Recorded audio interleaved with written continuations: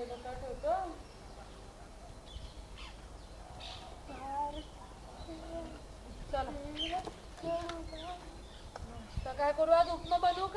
तो काल उपमा खा. काल उपमा कुठे खाल्ला आपण? काल पोळी भाजीच खाल्ली त्या